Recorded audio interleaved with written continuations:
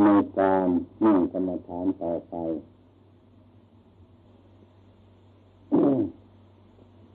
ต่อนนี้ไป จะท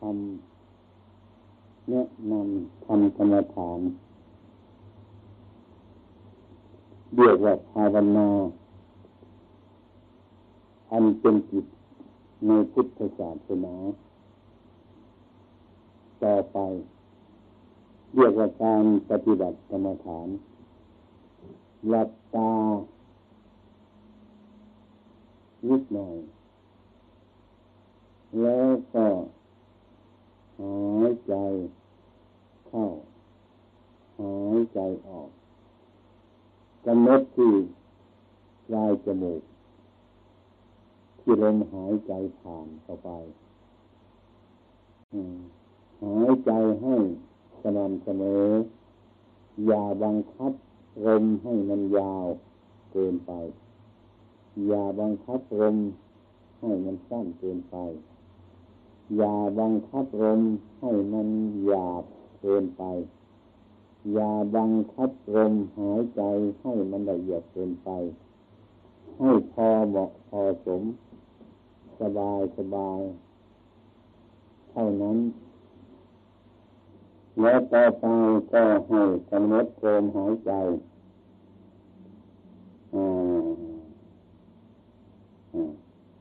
หันใจเข้าลมเข้าไปนั้นให้มีความรู้สึกว่าต้นลมอยู่ที่ปลายจมูกกลางลมอยู่ที่หัวใจคือหัวใจปลายลมอยู่ที่สะดือ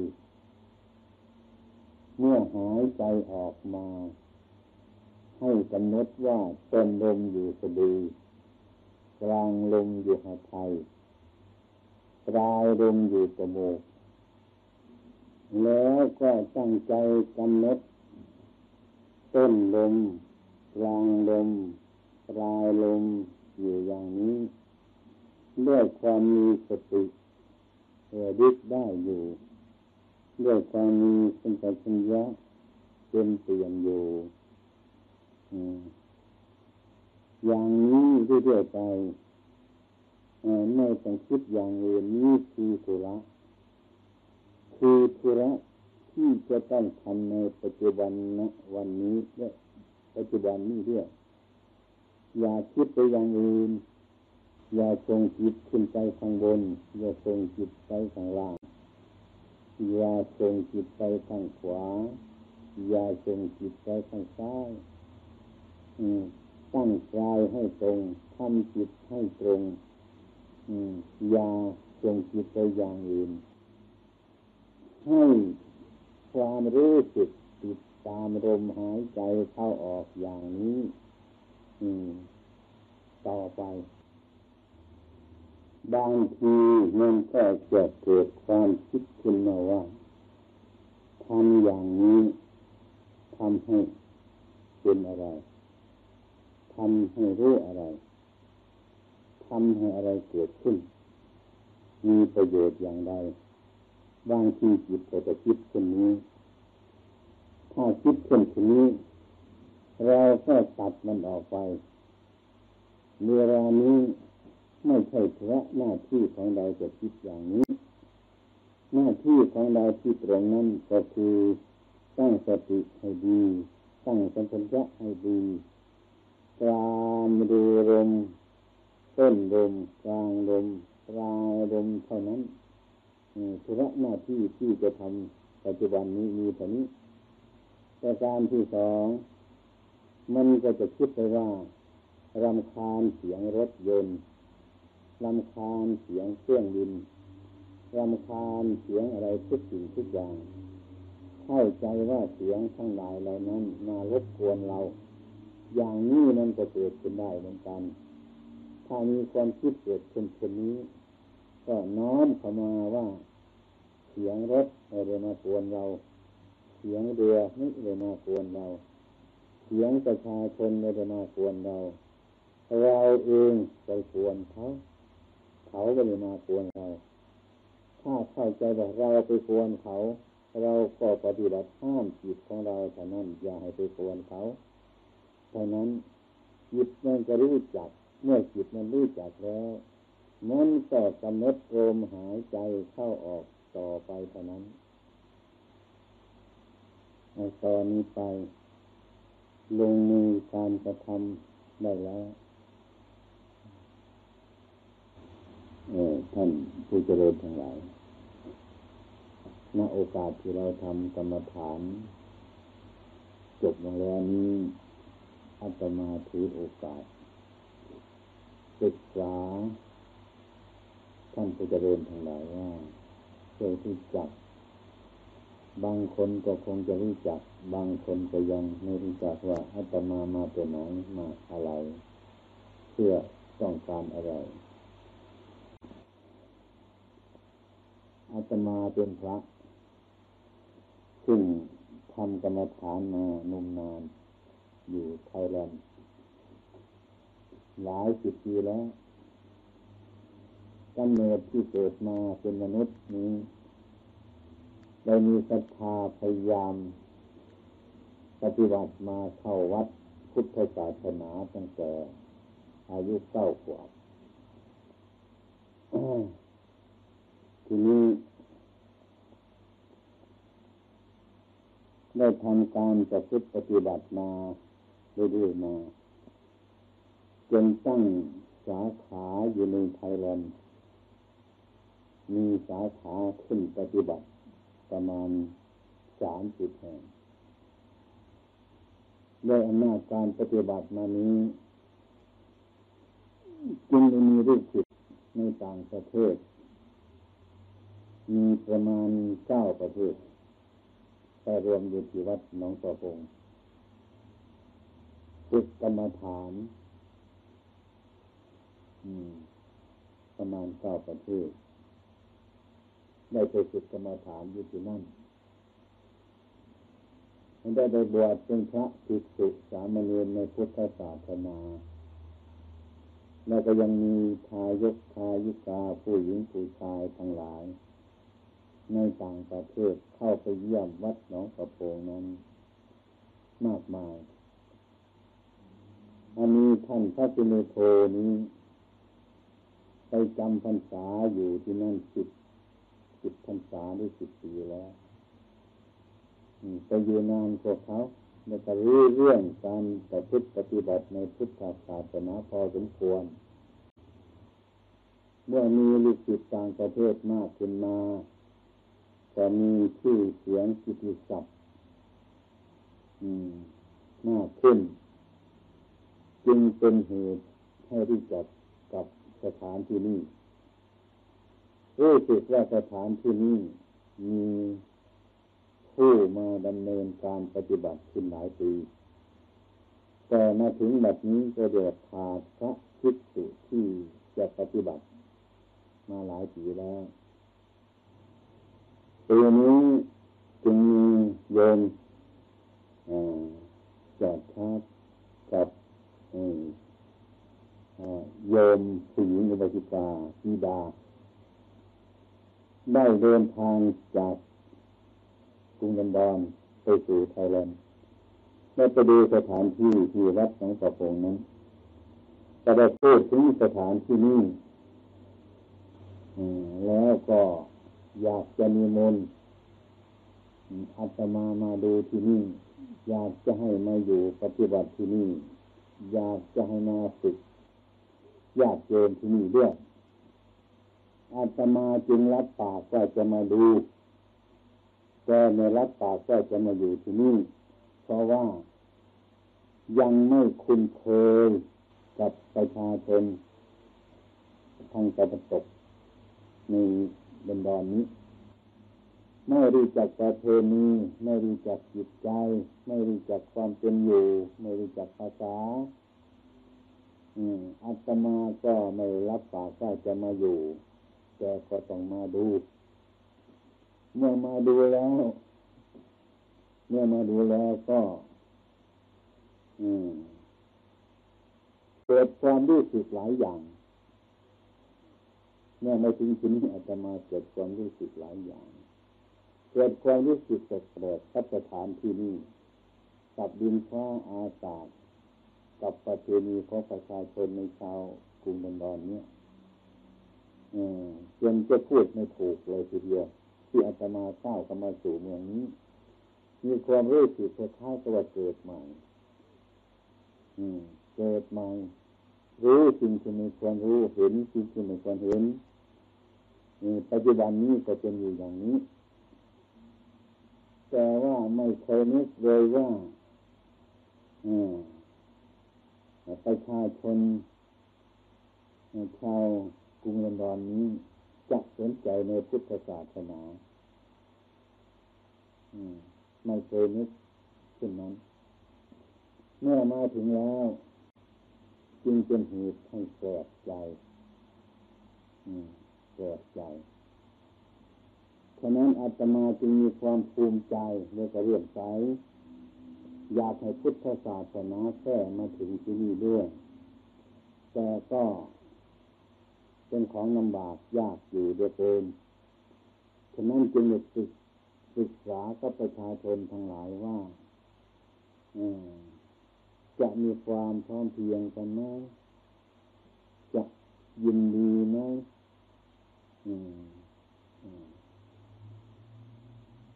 จะพอใจไหมถ้าพระภิกษุมาตั้งอยู่ในที่นี้ มารักษาที่นี่ให้เป็นสถานที่ปฏิบัติต่อไปขั้นแรกตั้งใจเข้ามาสู่กรุงกันดอนนี้ กับพระสมุโทกับพระเสือมาธรรมโมมาดูแลไปจะกลับไปไทยแลนด์ประมาณสัก เดือนกว่าที่สองเดือนเท่านั้น บัดนี้จึงมาเห็นภูมิประเทศที่นี้ เป็นปัจจุบันประเทศ เป็นประเทศที่สมควรทุกสิ่งทุกอย่างดินฟ้าอากาศความเป็นอยู่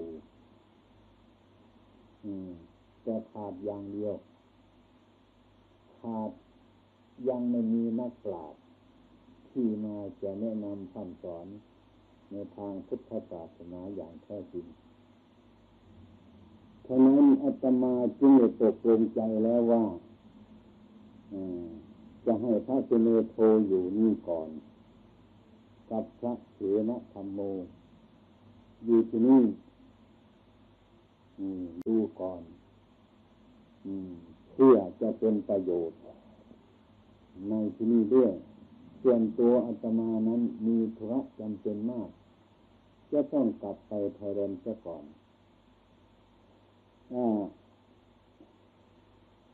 เพื่อเพื่อจะได้ทดลองอยู่ที่นี่ไปก่อน แต่ว่าพระสงฆ์ที่ปฏิบัติ ทั้งหลายที่จะให้อยู่นี้ เป็นพระกรรมฐาน เป็นพระกรรมฐาน คือเป็นผู้ปฏิบัติโดยตรง เป็นผู้มากน้อย เป็นผู้สันโดษเป็นผู้ไม่มากมากเป็นผู้เลี้ยงง่ายๆไม่เลี้ยงยากแต่ก็ต้องแต่ก็ต้องสำหรับที่คนยังไม่รู้จักก็เป็นของยากแต่ท่านกินง่ายแต่ท่านนอนง่ายอยู่ง่ายถ้าคนไม่รู้จัก จนกว่าว่าพระธรรมทูตในเมืองไทยที่พระเถระส่งขมาในในที่นี้ไม่กล้าทำไม่กล้าทำถึงนั้น ไม่กล้าทำเหมือนพระพุทธเจ้าไม่ไม่กล้าทำในหลักพุทธศาสนาอย่างแท้จริงเช่นการเที่ยวยินทบาทเที่ยวยินทบาทคล้ายๆเป็นขอทานถ้าธรรมทูตที่ยังไม่เคยปฏิบัติมาก็กลัวไม่อาย ไม่ได้ทำฉะนั้นการยินทบาทในจึงในรอนนี้จึงไม่มีตลอดมาถึงวันนี้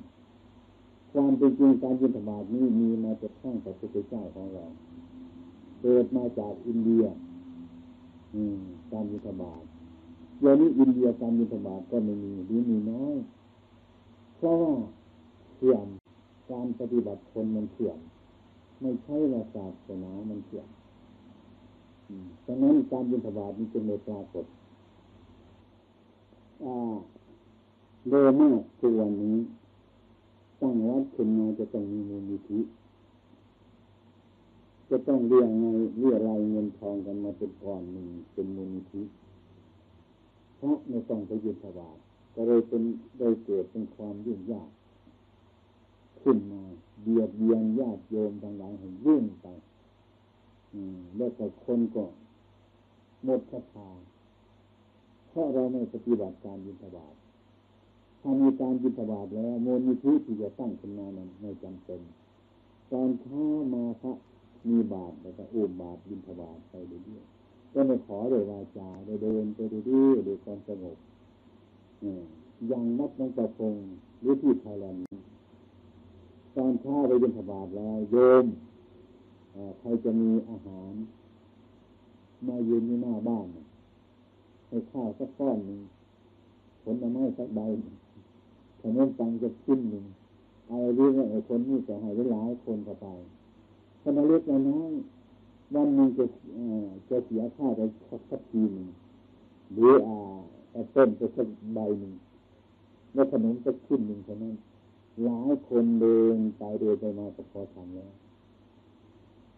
ไม่จำเป็นถ้าหากว่าคนยังไม่รู้ก็เดียวคนขอทานแต่ว่าไม่ใช่คนขอทานเพราะว่าคนเราที่จะอยู่ไปนี้ก็เพราะอาหารได้ฉันอาหารไม่เป็นอยู่ชีวิตก็ยังมีอยู่ เมื่อชีวิตยังอยู่ก็สอนประชาชนได้ได้สอนประชาชนให้สร้างเป็นงานความดีขึ้นได้ สอนธรรมะให้ผู้จะฟังธรรมะก็ต้องมีอาหารเป็นเป็นเครื่องอาศัยอยู่ ถ้าไม่มีอาหารก็ฟังธรรมะไม่ได้อืมอันนี้ถ้าเรามีอาหารเลี้ยงก็อธิบายธรรมะสอนประชาชนไม่ได้แต่ท่านเอามากได้มาแล้วก็ฉันพอแล้วก็เอาไปไม่เก็บไว้อาหารเก็บได้ไม่ได้เดี๋ยวเป็นเรื่องมีญาติโยมเขาเก็บไว้เท่านั้น แล้วก็ฉันมือเดียวอีกเรื่องเรวมในบาเดียวฉันมือเดียวพระทั้งหลายเราไม่เป็นพระที่แปลกๆครับยังจะมาเดินทางมาจากทะเลมาสู่ภูนันดอนนี้ไม่มีกระตังที่จะเป็นค่าจ้างที่ตัวเครื่องบินมาเขาก็ถวายให้นั่งมาทางพระที่มีโทเขาก็ญาติโยมเขาก็ให้มา ส่วนตัวของพระสิมุโทเสมาสโมทุกพระที่อยู่วัดกระพงจะตางในย่ามไม่เคยมีไม่เคยไปขอใครไม่เคยไปขอใครไม่เคยไปร้องขอใครไม่เคยไม่เคยไปเรียอะไรเงินทองในในหมู่บ้านต่างๆไม่เคยทำการซื้อขายไม่เคยทำการหาเงินแต่เป็นผู้ปฏิบัติโดยมากอยู่ในป่าไม่ค่อยเปลี่ยนการกับใคร นี่เป็นประเพณีของพระพุทธเจ้า ถ้าหากว่ามาอยู่พระโยมจะมีความรู้สึกยังไงวันนี้จะมาเลยพูดเรื่องพระให้ฟังว่าจะเป็นยังไงมีความรู้สึกยังไงนะถ้าญาติโยมทุกๆคนต้องการพระอย่างนี้ก็อาตมาจะให้พระอยู่ปฏิบัติจะพยายามส่งมาให้สถานที่นี้เป็นสถานที่ปฏิบัติขึ้น อืม บางทีอาตมาจะมาจับปัญษาด้วยก็ได้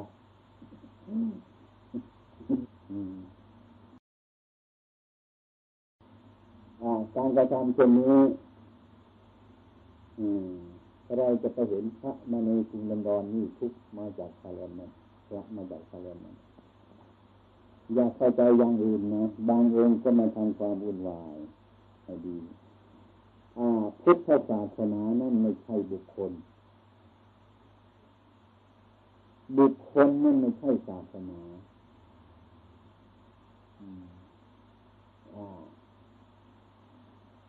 ศาสนานั้นไม่ใช่บุคคล บุคคลไม่ใช่ศาสนา ศาสนานั้นไม่เสื่อมดีตลอดเวลาคือพระมาปฏิบัติศาสนาไม่ถูก จึงไม่เป็นหน้าเรื่องใสอืม จึงไม่แนะนำญาติโยมทางหลาย ให้มีความทุกข์ใจน้อยลงน้อยลงได้ฉะนั้นบางคนก็จะเห็นว่าเมืองไทยมีพระพุทธศาสนาบางองค์พระในเมืองไทยมาทำไม่ดี ก็ไปโทษพุทธศาสนาโทษพุทธศาสนาไม่ได้ศาสนาไม่เป็นอย่างนั้นอันนั้นมันเป็นคน จึงเรียกว่าคนไม่ใช่ศาสนาศาสนาไม่ใช่คนศาสนาเปรียบกันเองว่าเหมือนกันกับเกลือเกลือมีความเค็มอยู่ตลอดเวลาถ้าใครไปกินเกลือก็ยังเค็มอยู่ ถ้าคนไม่กินเกลือก็ไม่เค็มฉะนั้นพุทธศาสนานี่จึงเสื่อมไม่ได้ จึงเสื่อมไม่ได้ คนเสื่อมต่างหาก ไม่ใช่ศาสนามันเสื่อมบางคนก็จะเห็นพระในไทยเดินมาปฏิบัติมาการมากระทำไม่ดีแล้วก็ไปโทษพุทธศาสนาคล้ายๆกับว่า คนที่มาไปกินเกลือ ก็ไปโทษว่าเกลือไม่คิดอย่างนั้นก็ได้เหมือนกันไอ้ความเป็นจริงไอ้ความเค็มของเกลือมีอยู่ตลอดเวลา ถ้าหากมีคนเอาเกลือไปกินก็ไม่ตกความ ความเค็มมันก็ปรากฏขึ้นมาพุทธศาสนาก็อย่างนั้นดังนั้นพุทธศาสนานี่คือสอนจิตสอนจิตใจให้สบายสอนจิตใจมาให้เป็นทุกข์เรื่องพุทธศาสนานี้วันนี้ถึงเล่าอะไรให้ฟังถ้าโยมยินดี ถ้าโยมเห็นเรื่องอาตมาก็จะส่ง พิสูจน์สามเณรมาตั้งข้อปฏิบัติให้ที่นี่เจริญขึ้นในการปฏิบัติจะจะต้องจะต้องไปยินทบาทขอทานดูโยมมีความรู้สึกยังไงบ้างถ้าเจอยินทบาทถ้าคนขอทานแปลกกันไหมอาตมายินดีเห็นประชาชนในชาวกรุงเมืองดอนนี่เหมือนกับพี่น้อง คล้ายๆกับที่ว่าจะเปรียบในฟังว่าดินก็ดีนะพันผลไม้ก็ดีแต่ไม่มีใครมาปลูกก็ไม่มีใครมาทำสวน อย่างนั้นก็จะดูประเทพอสมควรจิตใจคนก็ดีสถานที่ก็ดีอะไรริมผ้าอากาศก็ดีสมบูรณ์บริบูรณ์ทั้งหมด แต่ว่าไม่มีใครมาสั่งสอนพระศาสนาให้เข้าใจให้มีความสุขยิ่งขึ้นไปกว่านั้นมันก็ไอ้ไอ้ไอ้พันผลไม้ก็ดีดินก็ดีจะไม่มีใครปลูกอาตมามีความรู้สึกอย่างนั้นดีไหมโยมไม่รู้ไม่รู้เป็นไงจะเอาพระมาประกาศศาสนาสร้างเป็นที่นี่ดีไหม อยู่วัดพระพงศ์เราฉะนั้นไม่เคยเข้าใจเรื่องอิสลามนะไม่ไม่เคยได้เห็นประโยชน์เพราะไม่เคยได้ข้ามเลยอยู่วัดพระพงศ์หลายชุดเนี่ยเรียมอาหารถวายพระแล้วก็อ่าแล้วก็มีอาหารเหลือก็ทานอาหารมันด้วยแล้วก็ให้ได้ผลดีให้มามีประโยชน์มากนั่นแหละแสดงความยินดีให้ฝากมาอ่า ตั้งประเพณีเรื่องบาในในจุดนี้เราก็กลัวจะในที่อาหารก็ไม่ดีเท่าไหร่ใช่ไหมเราฝึกใหม่ๆมันก็อย่างนั้นแหละฝึกใหม่แต่ยังทำได้นั่นมันเป็นจิตนี่ดีมากที่สุดเลยจะพยายามทำแต่ก็ทำกับกลุ่มคนส่วนน้อยจะหาส่วนมากตาเห็นเนี่ยจะดีขึ้นดีขึ้น ถ้าเป็นอย่างนั้นแล้ว ยู่ที่นี่ก็ไม่ลำบากในลำบากกับญาติโยมทั้งหลาย ถ้ามีมูลนิธินะครับมันจะลำบากทำเงินเป็นข้อนหนึ่งมันลำบากเหมือนกันกับไม้ทอดมันใหญ่ๆแล้วแบกมันก็หนักถ้าเรามาผ่าเป็นขีดขีดขีดขีดขีดขีดขีดออกไปก็จับไปคนละเดียวยังไงมันก็ไม่หนักการให้อาหารการกดสันของพระเป็นเหมือนกันถ้าเอามารวมเป็นมูลนิธิมันก็ยากมันก็ลำบากมันไม่ท่อนใหญ่ๆแบกคนเดียวมันก็หนักาว่าผ่าเป็นชีพชีพให้คนน้อยตรงนั้นก็ไม่ลำบากเคยมีใครมาบิดาบาลมีไหมเคยมีไหมใครเคยเห็นไม่มีพระบิดาบาลเอาไหมที่นี่หรือเอาเป็นประวัติศาสตร์เสียเอาให้เป็นประวัติศาสตร์ไม่หยุดเลยนี่ก็ต้องทำเรื่องติดต่อกันเรื่อเป็นประวัติศาสตร์เลยนี่ตรงไหนนี่ตำรวจไปจับไหมผิดกฎหมายไหมเออ เออ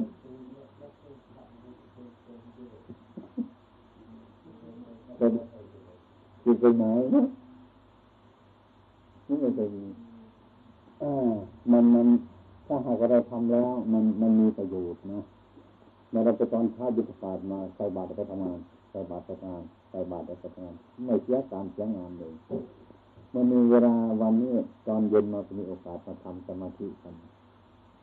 ไม่ต้องตามมาส่งถึงที่นี่อาหารนะจัดบาตรตอนเช้าจัดไว้นะครับเกี่ยวข้าไปจะเอากันกี่เวลา เอากันกี่โมง ก็ไปทานไส้แล้วก็ไปทำงานกันเลยสะดวกมากเออถ้าพูดนี้ก็ไม่ได้ทำอาหารตอนเช้าอืมอ้าว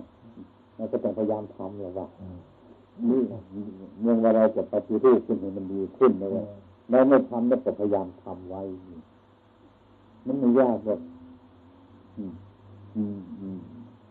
เมื่อนี้เขาเคยไปทำทหารทำอาหารถวายพระอยู่ที่วัดหลวงปู่พงศ์เนี่ย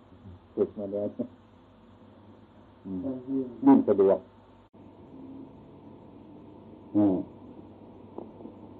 อย่างนั้ธรรมะธรรมะพระพุทธเจ้าท่านก็ตรัสไว้ว่าการมะ ขันธิการโยโค อัตตะจิระมัฐานิโยโค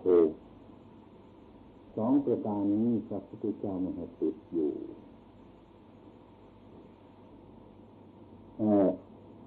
แต่ความสุขทางกายความสุขทางใจ เป็นกามนะสุขันิกานิโยโค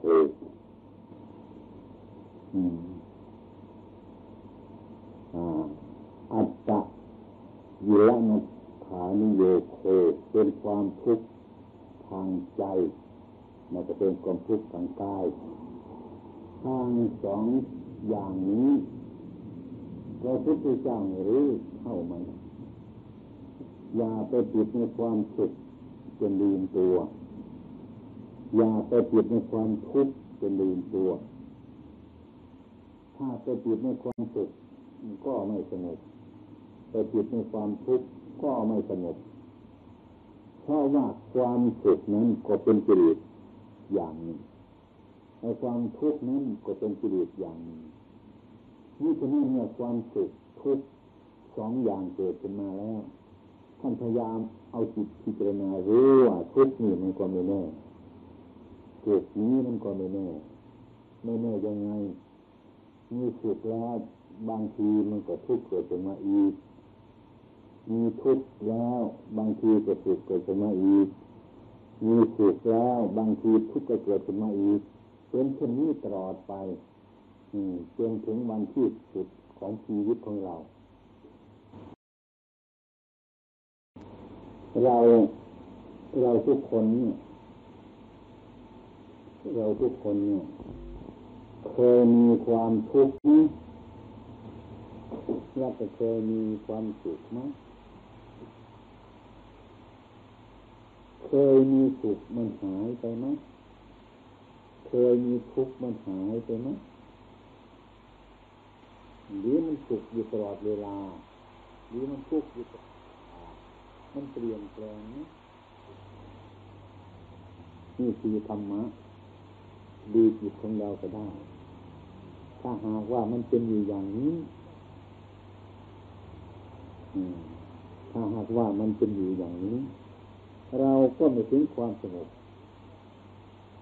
ไม่ถึงความสงบไม่รู้จักธรรมะของพระพุทธเจ้า ถ้าหากว่าเรามาอดทนมีความทุกข์เกิดขึ้นก็อดทนพอสมควร มีความสุขเกิดขึ้นก็อดทนพอสมควรรู้สิ่งทั้งสองอย่างนี้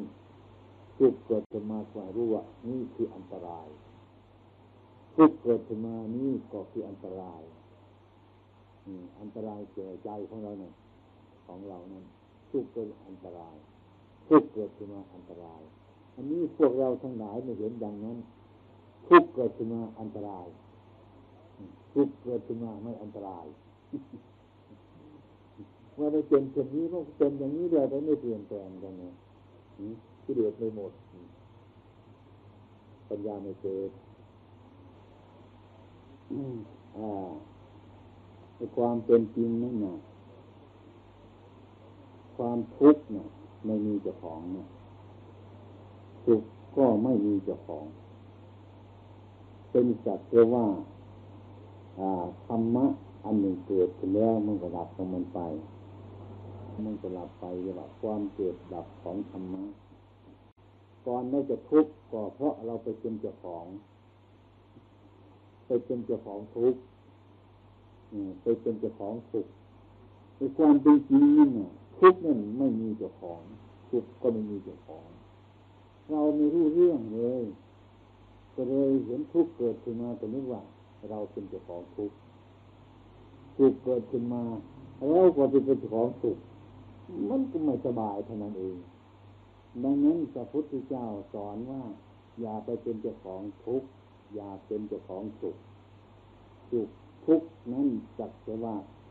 ทำมันเกิดแล้วหายไป หายไปได้จะเกิดขึ้นมาแล้วก็หายไปมันเป็นของมันอยู่อย่างนั้น ถ้าใครไปเป็นเจ้าของสุขเจ้าของทุกข์คนนั้นไม่สบายจะต้องพิจารณาอย่างนี้ปฏิบัติจึงถึงธรรมะธรรมฐานจึงเกิด จึงมีปัญญาจะต้องอดทนจะต้องมีความเพียรจะต้องพิจารณาดังนั้นต้องให้คิดเช่นนี้เป็นสัมมาทิฏฐิแล้วเป็นสัมมาทิฏฐิแล้วทุกเกิดแล้วหลับไปสุขเกิดแล้วหลับไปไม่ใช่ของเรา เราไม่เป็นเจ้าของ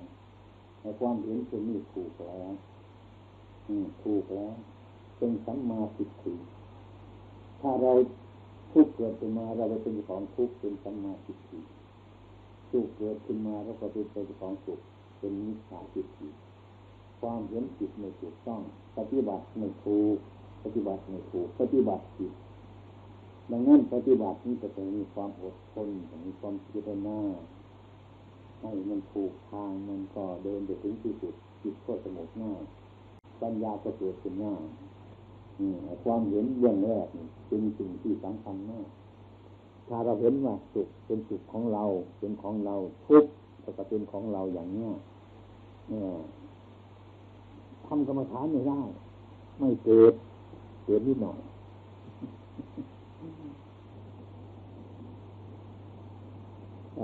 เดี๋ยวมีอะไรอีกไหมจนจะหมดเวลาแล้ว มีอะไรใครมีอะไรก็ให้โอกาส พูดเฉพาะในการกระทำจิต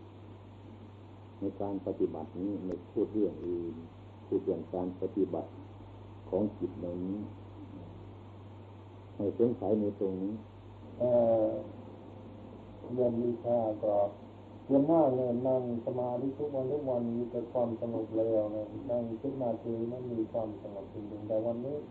มีอาการวุ่นวายทั้งนั้นมันดูจัดมีวิ่ง จัดเที่ยงการทุกการตลอดนี่ไม่มีความสงบสักนิดหนึ่งในวันนี้จะเป็นอย่างนี้ทำไมนั่นเรียกว่าอนิจจัง มันเป็นของไม่แน่นอน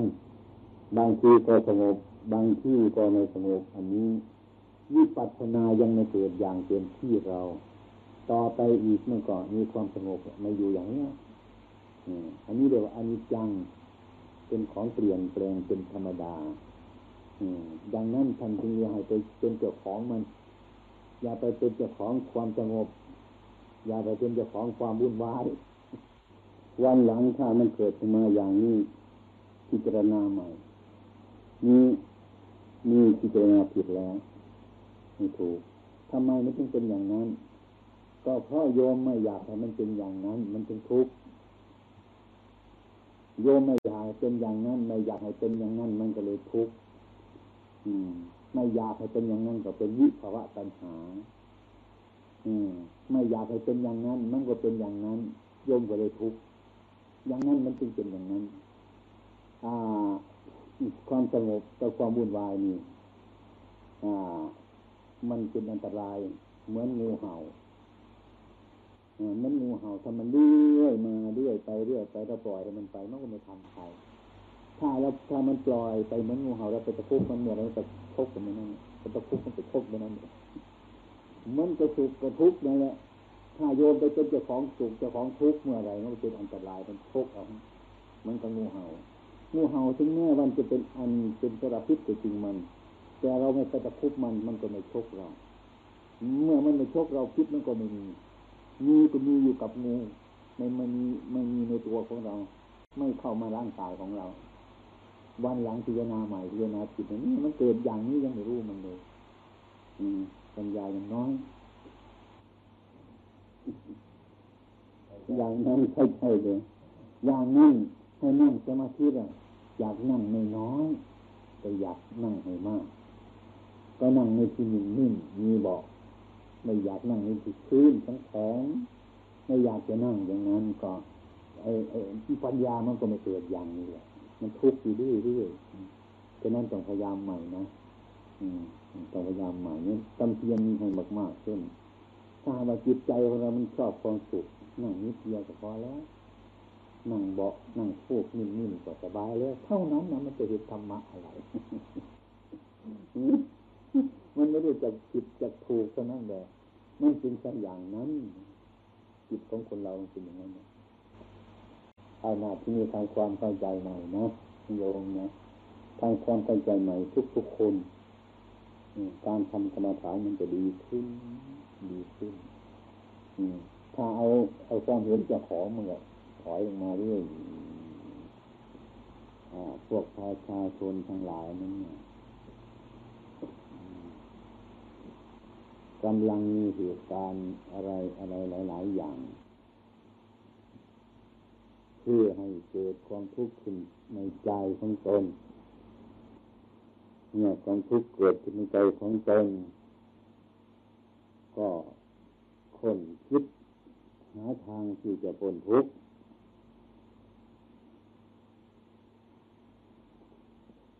สิ่งที่จะพ้นทุกข์นั้นก็คือสิ่งที่ไม่มีทุกข์เราปฏิบัติหาสิ่งที่ไม่มีทุกข์ ปฏิบัติหาสิ่งที่หมดทุกข์จึงจะพ้นจากทุกข์ทั้งหลายก็พากันเห็นอยู่แล้ว เช่นว่า การร่ำรวย มันจะพ้นทุกข์มันก็พ้นทุกข์ไม่ได้ การเรียนวิชามากๆทุกอย่างจะให้พ้นทุกข์มันก็พ้นทุกข์ไม่ได้ เพราะเหตุว่าวิชาทั้งหลายเหล่านั้น มีความเกิดแก่เจ็บตายครอบงำอยู่จึงพ้นทุกข์ไม่ได้ พวกเราทั้งหลายจึงจึงเลยวกวนมาหาความพ้นทุกข์ในทางพุทธศาสนาถ้าวกมาในทางพุทธศาสนานี้ก็ยังไม่มีใครรู้จัก เมื่อวกวนมาในทางพุทธศาสนานี้ก็ยังมีใครจะรู้จัก ว่าอะไรเป็นอะไรด้วย จึงพากันแสวงหาปฏิบัติก็ตกลงว่าพวกเราทั้งหลายนั้น ยังไม่รู้ว่าจะทำอย่างไรจะพ้นจากทุกข์แน่เรา ปฏิบัติจะปฏิบัติด้วยตนเองก็ไม่รู้จักทางปฏิบัติ เมื่อหากว่าเราจะอาศัยครูอาศัยอาจารย์ เป็นผู้นำนั้นก็ไม่รู้ว่าใครจะปฏิบัติถูกหรือผิดอย่างแน่นอน เช่นการทำกรรมฐานทุกวันนี้ บางอาจารย์ก็บอกว่าไม่ต้องทำสมถ กรรมฐาน มันช้าบางท่านก็บอกว่า ต้องทำสมถะกรรมฐาน จึงถูก บางท่านก็บอกว่า เรียนวิปัฒนาเลยไม่ต้องลำบากอย่างนี้เป็นต้น คนก็เข้าใจว่า ถ้าจะเรียนวิปัสสนานั้น จะต้องเรียนมาก ๆ จะต้องมีความรู้มาก ๆ จะต้องจะต้องจบเข้าใจปีดกจึงจะปฏิบัติได้บางอาจารย์ก็ให้ความเห็นว่าถ้าเราปฏิบัติแล้ว ไม่ต้องเรียนให้มากก็ได้อันใดมันผิดแล้วก็เลิกมันเสียอันใดมันถูกแล้วก็ปฏิบัติตาม ก็พอแล้ว ปัญหาอย่างนี้หนักใจ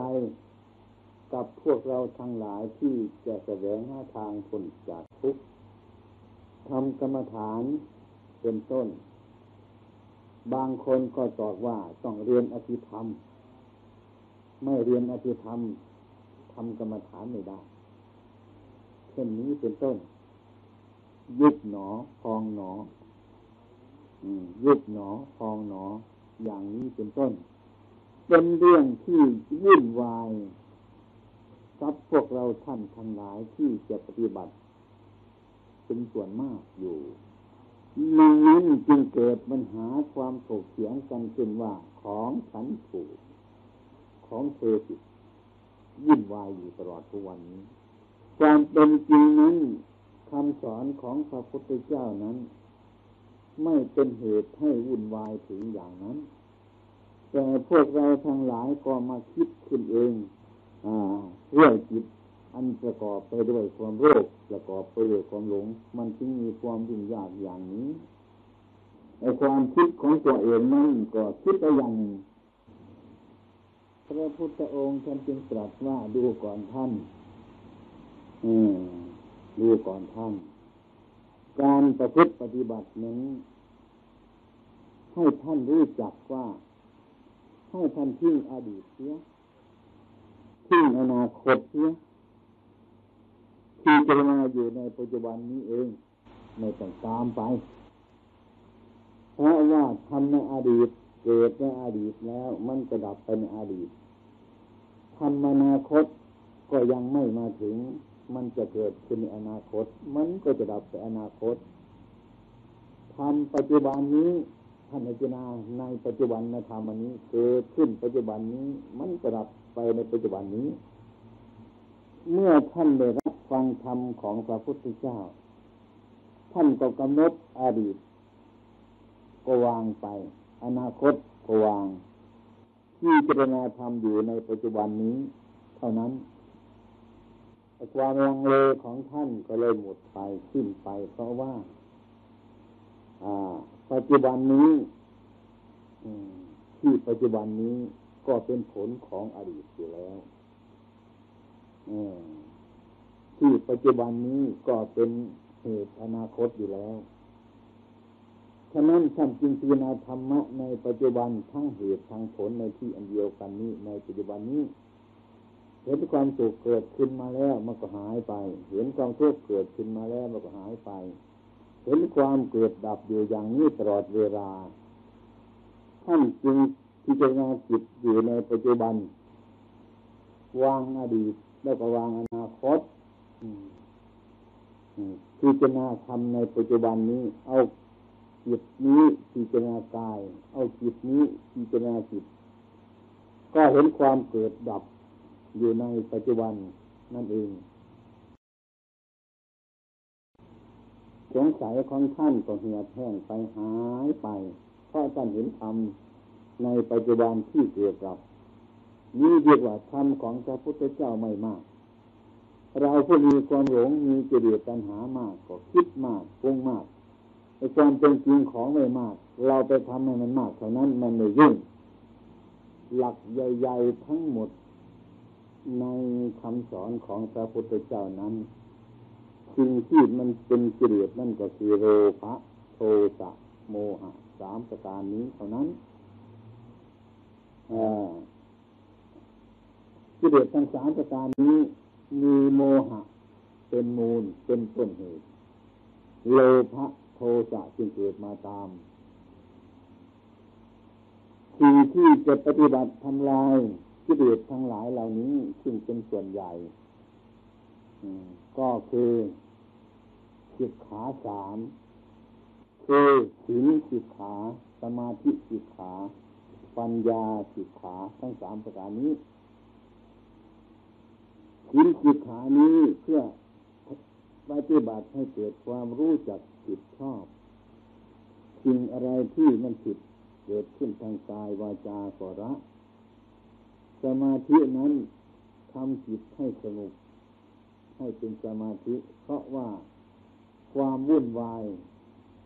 ออกจากกายวาจาเราแล้ว จิตก็สงบ เมื่อจิตสงบแล้วเป็นต้นปัญญามันก็เกิด เมื่อปัญญาเกิดแล้วเป็นต้นก็พิจารณาสิ่งทั้งหลายทั้งปวงมีร่างกายแล้วนี่เป็นต้น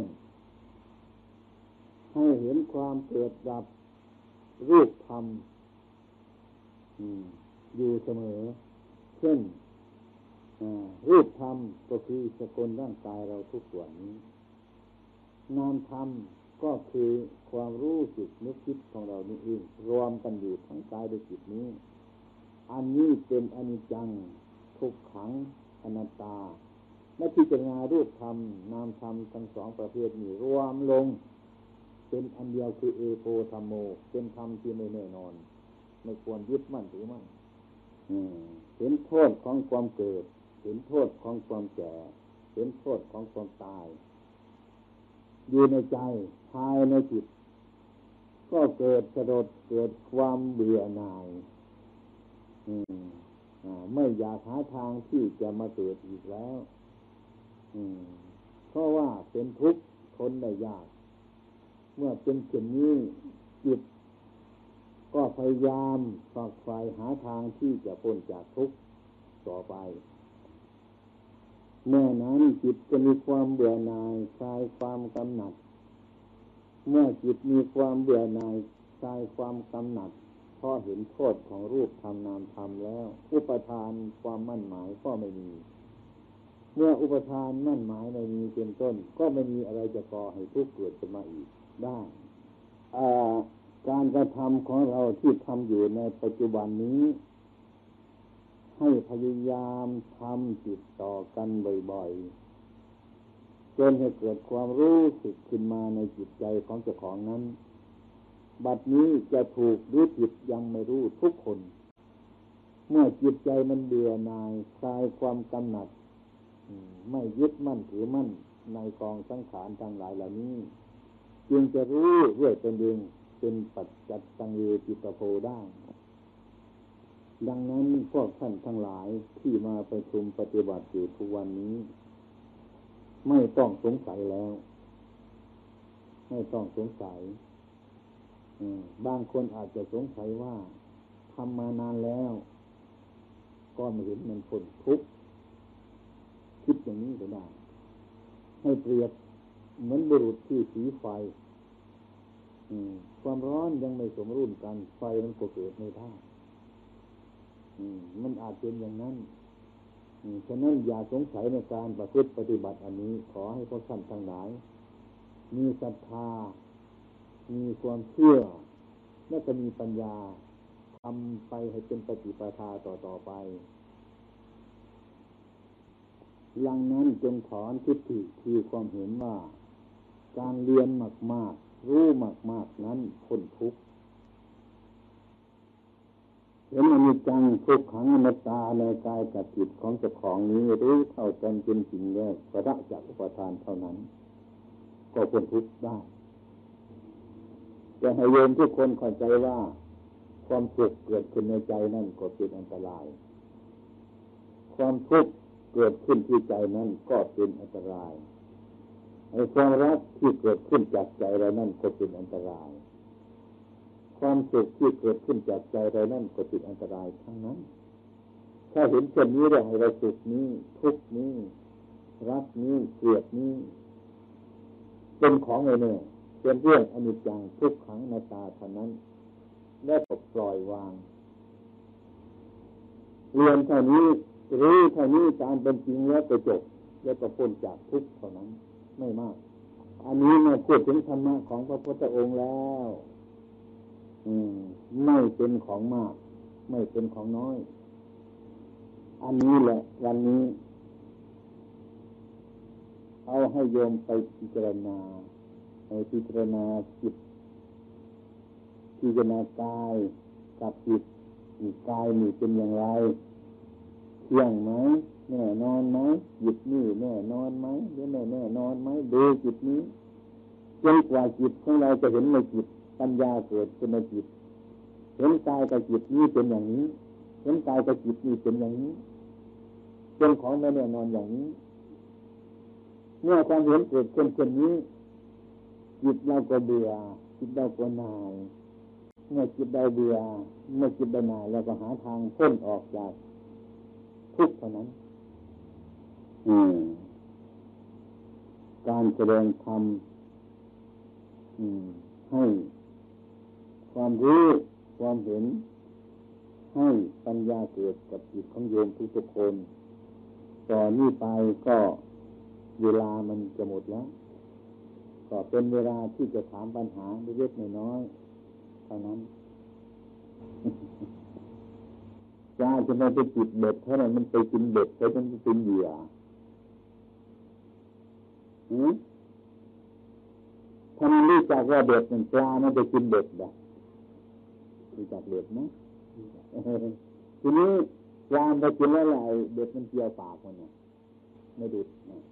ทำไมปลามันจึงจะทำอย่างนั้น รู้ไหมปลามันเข้าใจผิดมัน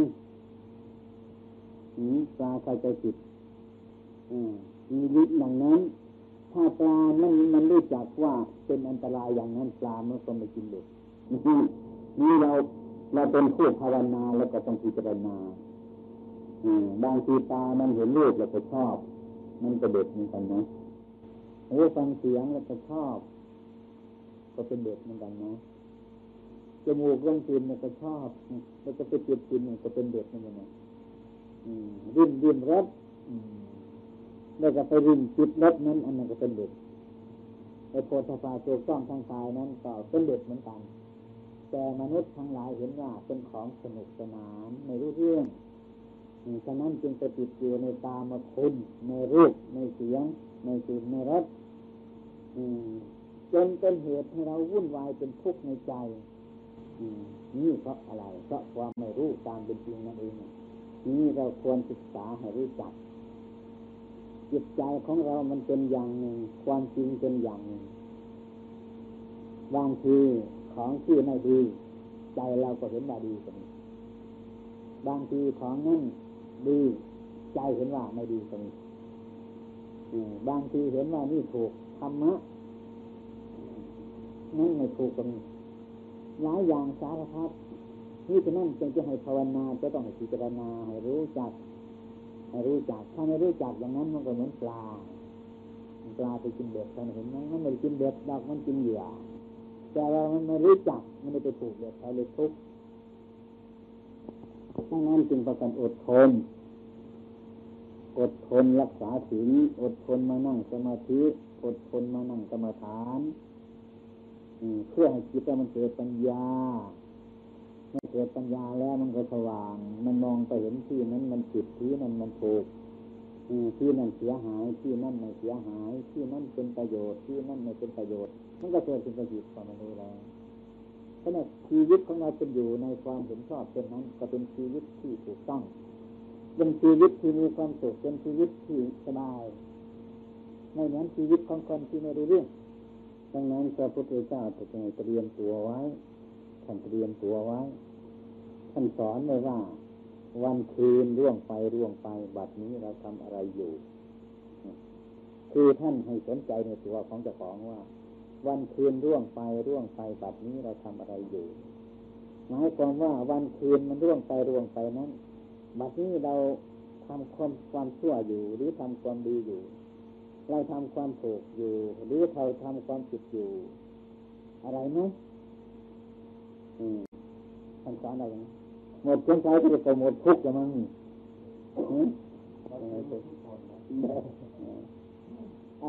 อาจารย์จะขอโยมทั้งหลายนี่นะบางคนก็ยังไม่เคยรู้จักบางสิ่งบางอย่าง คนที่ไม่รู้จักนี้ก็ไม่รู้จักจะทำนะอัตมาเหมือนกันไม่รู้จักไม่รู้ไม่ถ้าไม่รู้จักก็ไม่รู้จักจะทำนะครับอย่างอยู่เมืองไทยมาเมืองมีเงินดอนเนี่ย ไม่รู้ภาษาอังกฤษก็พูดไม่ได้ ไม่ได้เรื่องนี่เดียวคนไม่รู้คนไม่รู้จักพูดไม่ได้ที่คนเรายังไม่รู้นั้นก็ไม่รู้จักจะทำไม่รู้จักจะพูดเป็นธรรมดา เรื่องพิธีการพุทธศาสนานี้ก็เหมือนกันมีหลายอย่าง เช่น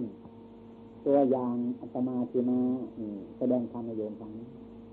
มาเลยถึงท่านสมกราบ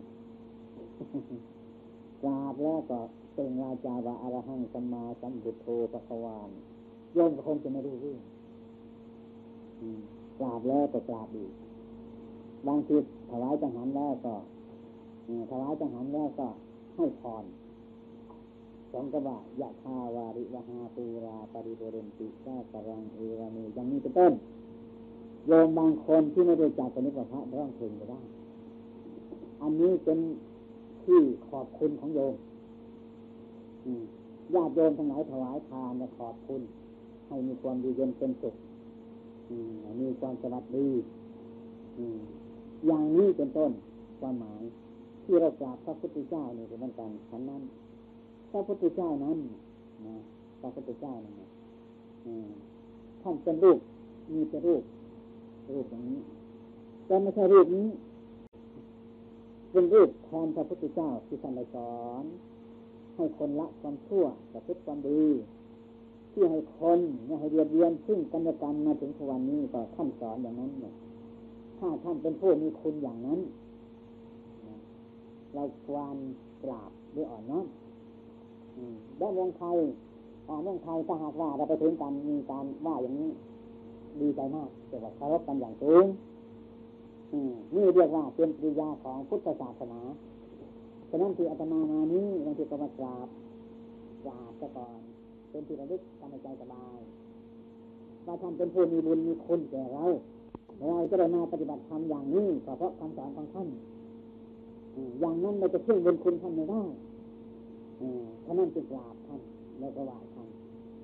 ไหว้อะไรไหว้ความดีของท่านไหว้ความจริงของท่านไหว้ธรรมะที่ท่านประพฤติปฏิบัติมาแล้วมันถูกต้องเช่นว่าท่านสอนว่าทำดีก็ได้ดีทำชั่วได้ชั่วเหล่านี้เป็นต้นคำสอนจิตปัญญาจาสัตว์อย่างนี้ทุกวันนี้ก็ยังไม่หายไปที่ไหนยังตั้งอยู่ในโลกอันนี้ใครทำดีก็ยังได้ดีอยู่ ใครทำชั่วก็ยังได้ชั่วอยู่ตลอดวันนี้คำสอนอันนี้เป็นคำสอนที่ออกจากพระโอษฐ์ของท่านจากใจของท่านคำสอนนี้จึงเป็นประโยชน์ท่านจึงเป็นผู้มีประโยชน์แก่ชาวโลกทั้งหลายด้วยเพราะว่าสอนมนุษย์ทั้งหลายให้ทำที่ถูกต้องให้พูดที่ถูกต้องให้คิดที่ถูกต้องทั้งนั้นฉะนั้นจึงกราบไหว้ท่านเพื่อให้เป็นที่ระลึกเป็นที่พึ่งทางใจของเราสบายมีความหมายอย่างนั้น ถ้าเราเนี่ยถ้าเรากราบท่านทุกคนทุกคน ถ้ายังมีชีวิตอยู่ท่านจะบอกว่าอะไรจังคือล่ะขอบคุณภาษาไทยเราขอบคุณมีการทำให้แต่เป็นคืออย่างนั้นมีความหมายอย่างนั้น อืบางคนจะรำคาญค่อยๆทำไปฝึกไปเรื่อยๆไปต้องความเคารพมีเป็นจิตของพุทธศาสนาทุกคนไปเมืองไทยก็เหมือนกันถ้าโยมไปเมืองไทยเหมือนกันไปถึงกันว่าอย่างนี้ดีใจมาก อบคุณมากเรื่องการคารพคำสอนที่สอนกรรมฐานอยู่ต้อหาครูหาอาจารย์หาที่บริสุทธิ์หาพระที่บริสุทธิ์ว่าพูดอย่างนั้นก็ทำอย่างนั้นจริงเออเป็นคนที่มักน้อยเป็นคนที่สันโดษเป็นคนที่ปฏิบัติดีแย่เห็นทุกข์หนีจากทุกข์หนีจากกระแสสงสาร แล้วก็เพิ่มกำลังที่คนไปทำมันเชื่อเป็นมาเรื่องใจถ้าหากเป็นคารวะเหมือนกันนี่ก็เขาไม่เคยเรื่องใจ ก็มีจะมีรูปจะมีข้าวของเงินทองมีอะไรวุ่นวายอยู่ แล้วก็ฉันมีกรรมฐานกันตอนเย็นตอนเช้าก็ไปนั่งกินเบียร์ไปกันกินสุราอยู่นี่ก็เป็นธรรมดาธรรมดาจะมาเรียนหนังสือจะทำไงแล้วจะจะต้องเรียนต้องหาครูที่มีความรู้กว่าเราใช่ไหมไปจึงเรียนการปฏิบัติพุทธศาสนานี่เป็นทางกรรมฐานจะต้องหาคนพูดที่มีกิเลสน้อยเบาบางออกจากพ้นทุกข์จริงๆไม่เป็นสมควรก็ต้องเป็นอย่างนั้น